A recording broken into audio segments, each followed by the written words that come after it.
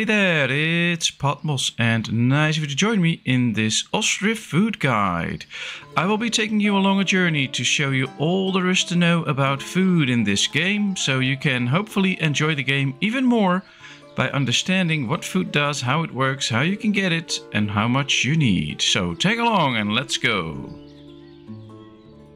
Before we can dive into all the different food sources and all the different types of food that we can get, we first have to get to know how much food we actually going to need.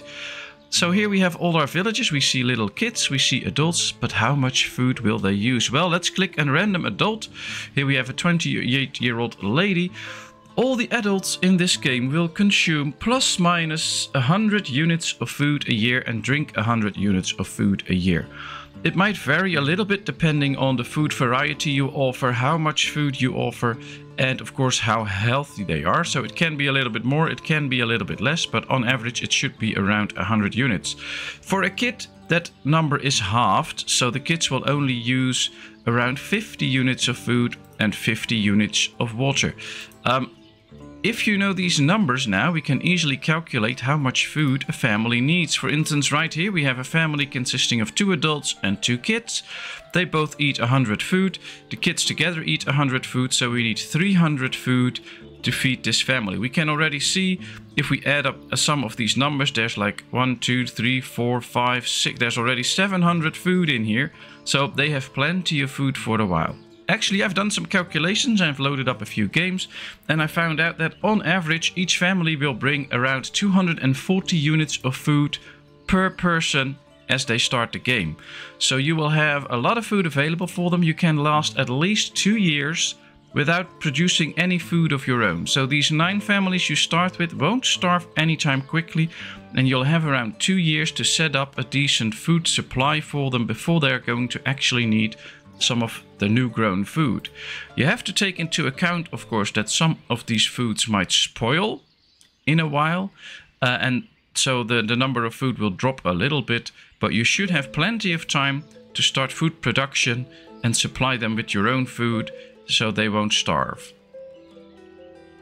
When you start off a new Ostriv game, of course you start by building the forester and the clay pit after you've built your initial camp to get wood production going, get some clay so you can actually start to create some village housing for your villagers. As you can see here, I've set up a few village houses, which are the average size that you start with. I've also created a very small one and a very big one, because now it's time to decide what houses will we build. If you build a house with a garden, of course, it can produce its own food. But there are differences. We can give we can use the standard size, we can use a very small garden, or we can use the maximum sized garden. And what does that do? Well, I'll go over the yields soon, but first I want to show you this. This is a normal average size house. It uses an amount of resources. If we take the smallest one that I've built here, which is pretty tiny, as you can see if I click this, you can see that there will only be a very small garden in there. It will use about the same amount of resources as this house. So the garden size does not matter for how many materials will be used. It also has no real effect on the building time. The only thing you have to take into account if you build a lot of houses with big gardens is the travel time for your people. The smaller your houses are, the closer they are together, the less far they have to walk from the wood source and from the clay source, and that saves time.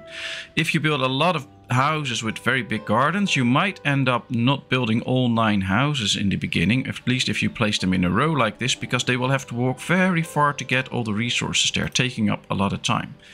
But the house itself does not make a difference in cost, so it can be very cost effective, especially in the beginning, to build a few houses with very big gardens so that they can produce a lot of food. Well, how much food do they produce then? I'll show you next. Before we go to the actual yield we get from the different sized garden houses, we need to know when do they actually start harvesting and when did they start sowing. As you may know, a normal farm will start to sow in March and the harvest will start halfway August, but these houses work differently. These will start sowing the ground in starting in April and the last day of May will be the last day that they can actually do some sowing and these will only start harvesting in October. So you can see right here it's nearing the end of September. They did not start the harvest yet. They will start doing that as soon as we hit October.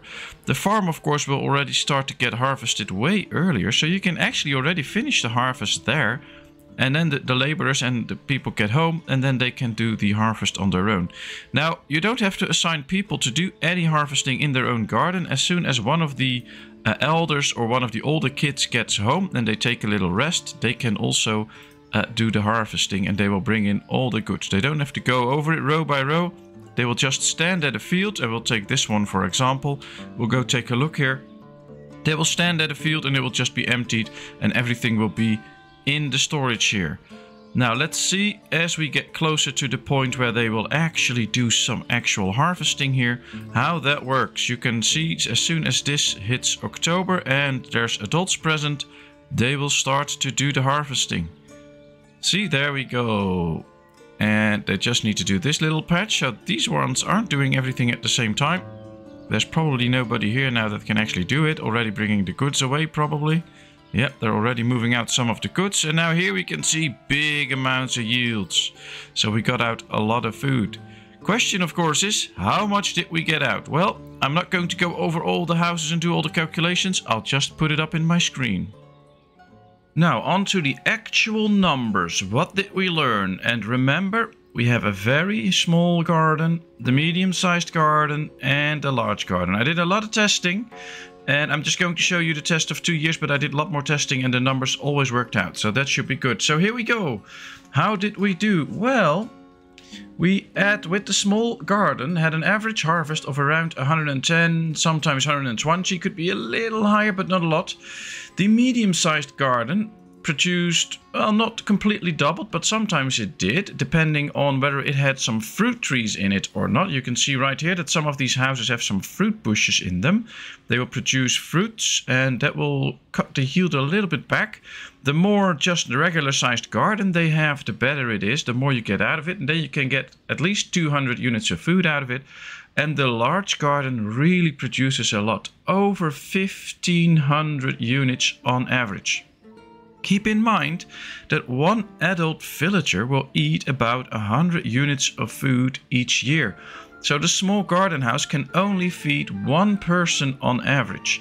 The medium-sized garden house can feed two persons, but if they have kids or they have multiple kids, then you still need to get some extra food. While this large garden house can feed up to 15 adults a year, which is actually quite a lot. So there is a big difference between the small, the medium and the large. And especially if you're struggling a little bit with the food, just go for a few large houses because they can really add to your food supply and give you all the food that you need. But these are the numbers. If you want to recheck it, just pause the video for a bit so you can read the numbers again. But this is what my calculations brought up. It's finally time to get talking about farming. Now let's get over the basics first. What you need to do is build a farm. Then you attach a few fields to them. You can just add them as a field. You can make them in all different size and shapes. And once you have done that, you need to set those up to grow a certain type of crop. And that's basically all you need to do. You put in some workers, I usually put in ladies, and then we can start to actually get some farming done. Now, to be fully aware of how farming works, you need to know that as soon as the month of March starts, the sowing will start and they will start sowing in these fields. As soon as a field is sown in, it will start to grow. Once the field is growing, it will grow until half July. Then the field will start ripening and about a quarter into August the harvest will start and you can keep harvesting until the first day of November when the real winter and the snow sets in and then all the crops need to be in the farm otherwise they will go to waste. And for the sowing and the harvesting, you can actually hire laborers, and it's a very good thing to have a lot of people available in your town to help out with those jobs. Because the quicker you sow in a field, the quicker it can start growing, the longer period it has to grow, the more crops you will get out of it. And the same with the harvest, you really want to get all the harvests in before the winter so nothing goes to waste. And a good way to do that is by hiring those extra laborers to make sure that all the stuff is taken off the fields and into your farmhouse. Now that's the basics of farming. The next thing to talk about in the farms is what can we grow on a certain field? Well, there are basically three types of goods that we can get. We can get food goods for the villagers, we can get animal food out of the farm fields, or we can get production goods. So buckwheat, potatoes and wheat and sunflowers, makes for sunflower oil, are the food sources that you can get out of a farm field. The wheat, of course, needs to be turned into flour by a windmill, and buckwheat and potatoes they can eat straight away. Sunflowers are turned into sunflower oil by the oil maker, and they can also get that as food. The animal foods are wheat, barley, buckwheat, and linseed. That is a byproduct of flax. You will only get tiny amounts of linseed with a flax harvest, but for instance, chickens can eat that, which is a uh, pretty easy and cheap source of food for them. And of course, we have the production goods barley for the beer and hemp and flax to be made into cloth, which, which you can make clothing. So those are the different types of goods that you can have.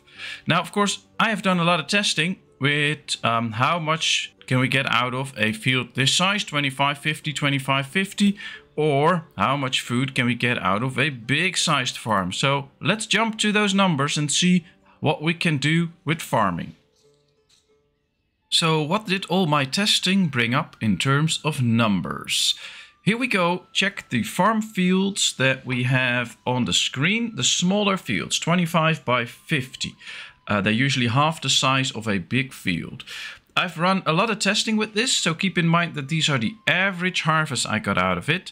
Um, there can be little variations, but this is about on average what you should be getting. And as you can see, um, there's a big difference between the maximum number of units and the average harvest. That is because the maximum number of units is how many land units you are using inside the field. Uh, and that has nothing to do with how much harvest you can get out of it. So keep that in mind. Those are just units that measure how big the field actually is and how much land it's covering. But that, that, has nothing to do with the average harvest, so you can forget about those numbers. I've put them in to point that out. I've tested with buckwheat, potatoes, wheat and flax. As you can see, I did quite a few runs with that.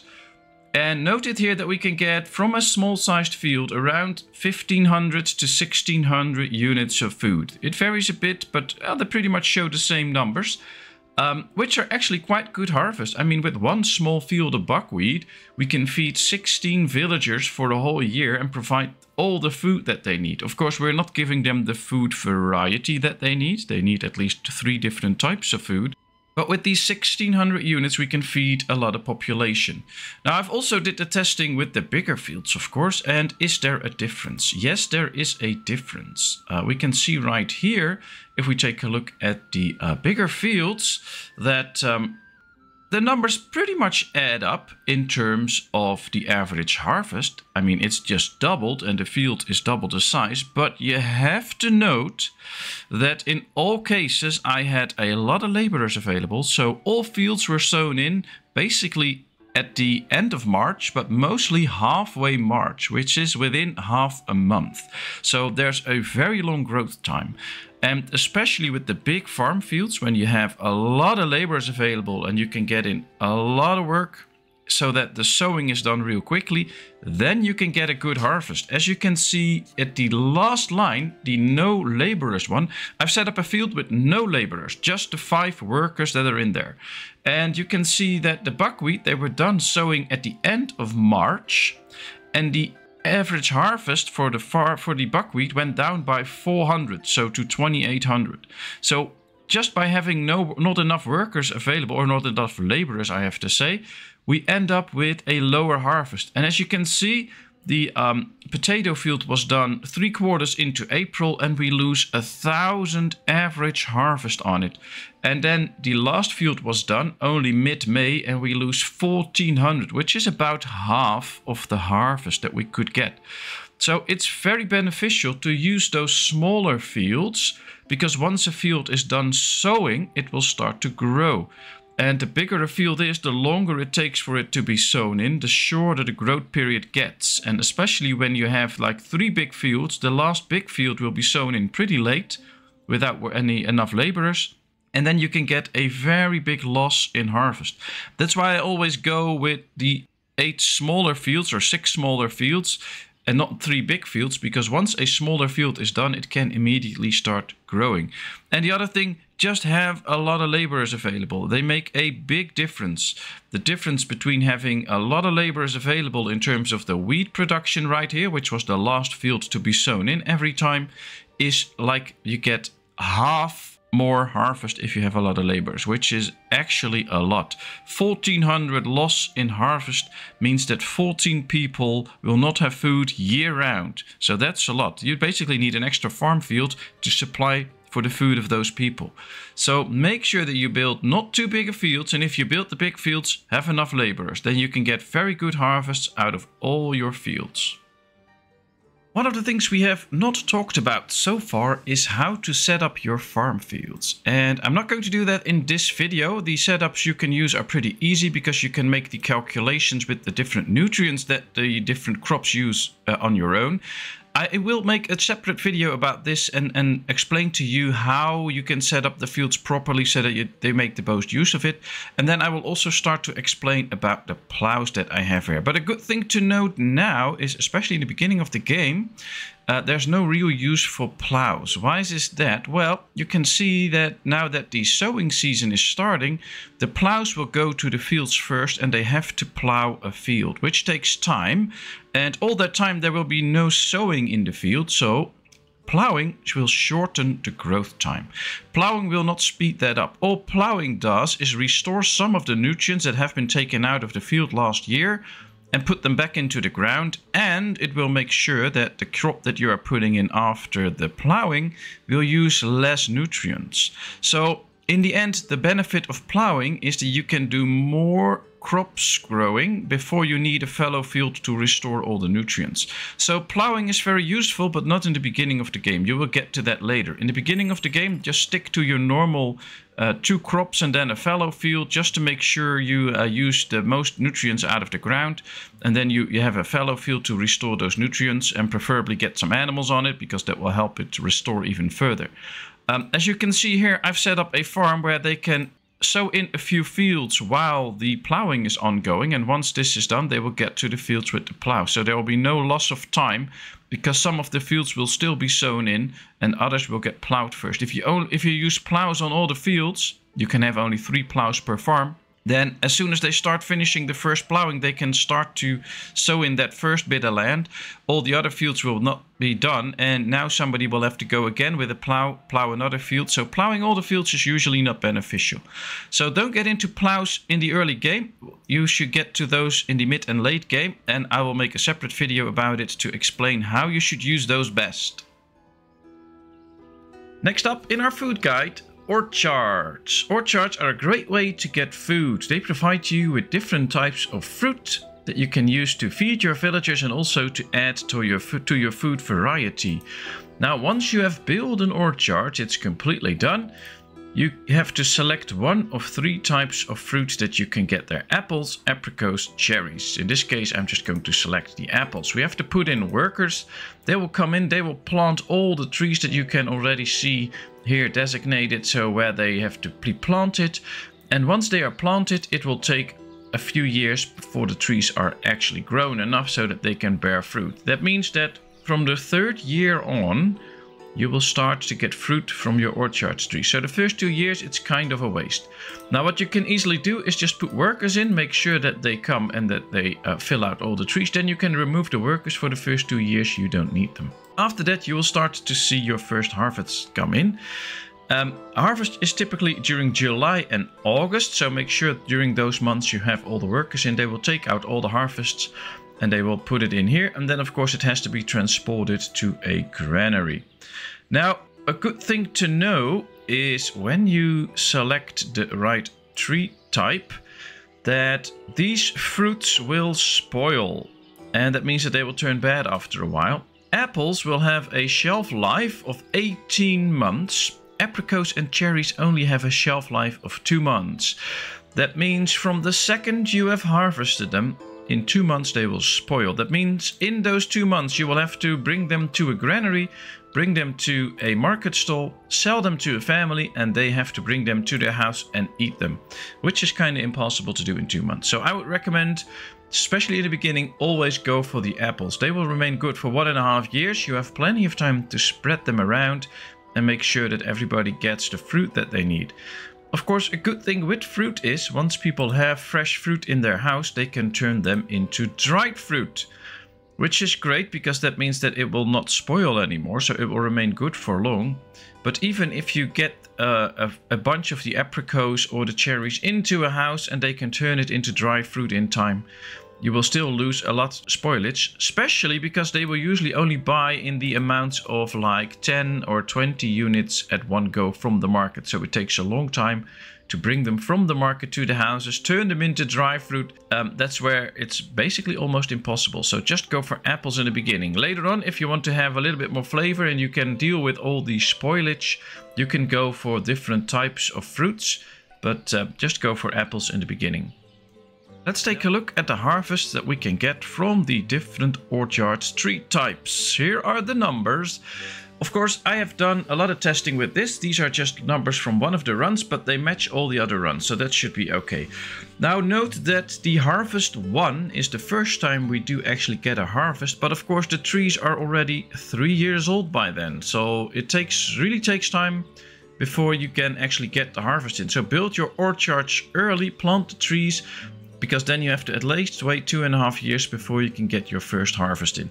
Now the apricots, the cherries and the apples all come in around 2000 in the first year. Then the numbers will run up, but they will vary a bit, somewhere between 2500 and 3500. As you can see with the apples and the cherries, the numbers will go up already. Um, around 3500 is usually the average you get once the trees are matured. You can see that on harvest 3, the, three, the trees are 5 years old. That's when they are fully matured. And from then on you should get the maximum yield, but yields will vary each year. You can see that between harvest 3 and harvest 4, you can see a difference of 500 between the apricots in those two harvests. There's a difference of 700 between the, uh, or 800 even, between the cherries and the apples even have a bigger difference. There's no way of knowing what will impact the yield, but yields will just vary every year. But you can count on an average around 3,250 or 3,500. That's around the average when the trees are fully matured. And that's how much you will get out of those orchards. So you can actually provide a lot of food with those orchards. Just make sure you pick the right type of fruit distributed quickly around town and you can have good sources of food out of that.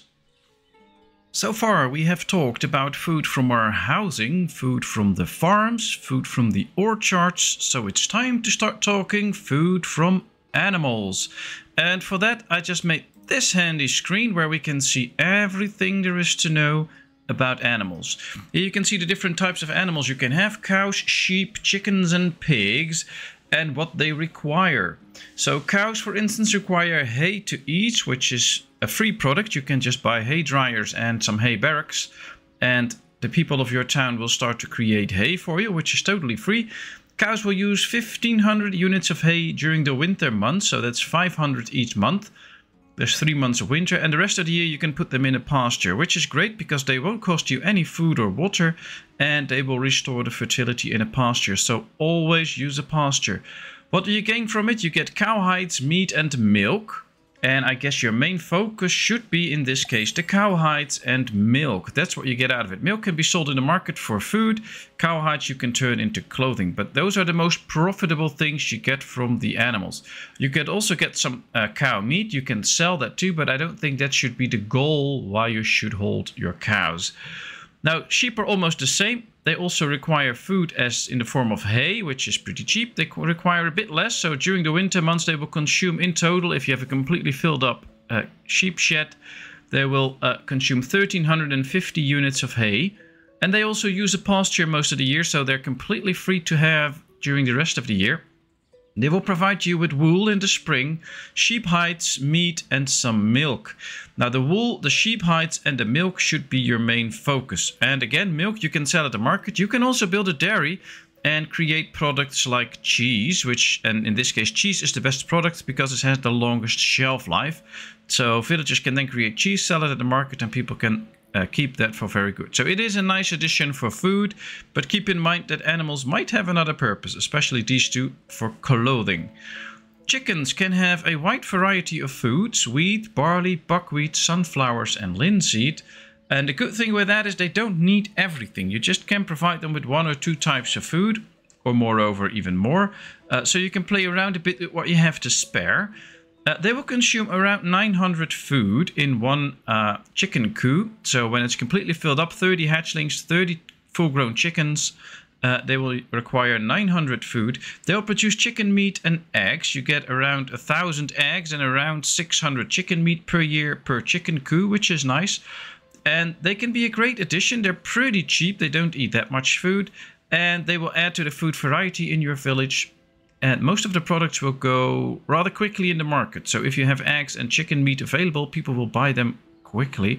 So that's really nice. That's a good addition. And of course, we still have the pigs. Pigs can eat anything almost. So wheat, barley, potato, buckwheat, linseed, beetroot, carrots, cabbage, and sunflowers.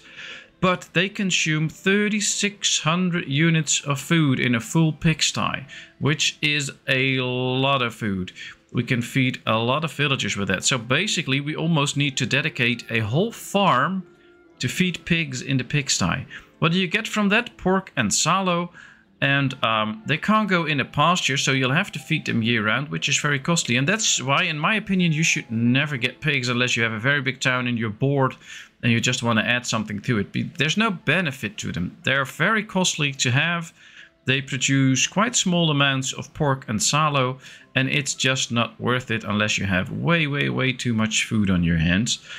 And this is basically all you need to know about the animals Let's move on to fishing. If you want to go fishing, you need to build a fishing docks and a boatyard. The boatyard will create the fishing boats for you. They will put them in the fishing dock and then you can assign workers to it that will go do some fishing. Now they will catch raw fish in quite okay numbers, but raw fish will in the end spoil. So what you can do is build a salt works or import some salt, tell them to produce dried fish, put in some salt, and they will turn these fishes into dried fish. And the good thing with dried fish is it won't spoil. So you get good amounts of fish that way that will remain good for very long. Note that fishing docks won't work in the winter time when the river is frozen. So during uh, the full month of December, January and February, this whole river is frozen and they can't be used. So use seasonal hiring, make sure that they are not in here during those three months because they can't work anyway. And during the other months, they can do some fishing. It can be a nice addition of food in your town. It's quite labor intensive. You can see there's five workers and only three boats, but once one of the workers is going home to rest, one of the others can take the boat and go do some fishing. Uh, but they bring in nice amounts of food and especially in the beginning it's pretty easy. Just build one or two fisheries in the boatyard make sure you get the boats out and you have that nice extra source of food that you might need to get your food variety going and it's just a nice add-on to the food that you can have. Uh, right now we don't have any fish in store uh, because a lot of people will start buying the fish as soon as you get it so be prepared to not see a lot of this in your storages uh, if you can spread it out to the village and sell it quickly, that will be very good. But in the end, these can produce good amounts of food for your village. I really hope that this guide will help you understand all there is to know about food in the wonderful game of Ostriv and that you are now able to build lovely and beautiful towns in this wonderful game. Enjoy it!